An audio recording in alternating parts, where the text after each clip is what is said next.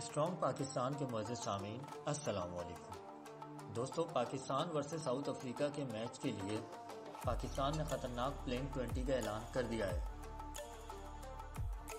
दोस्तों, ओपनर में आबिद अली, अब्दुल्ला शफीक और इमरान भट्ट हैं, जबकि मिडिल ऑर्डर बैट्समैन में अजहर अली, बाबर आज़म जो कि पाकिस्तान टीम के कैप्टन हैं। फवाद आलम, कामरान गुलाम, सलमान अली आगा, साउथ शेख।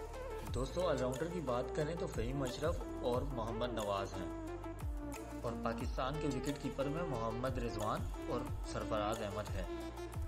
दोस्तों स्पिनर में नुमान अली, साजिद खान और यासिर शाह खेल रहे हैं। और अगर फास्ट बॉलर की बात की जाए तो हारिस रऊफ, हसन अली शहीन शाह अफरीदी और ताबिश खान है। तो ये थी आज की वीडियो। उम्मीद करते हैं कि आपको पसंद आई होगी।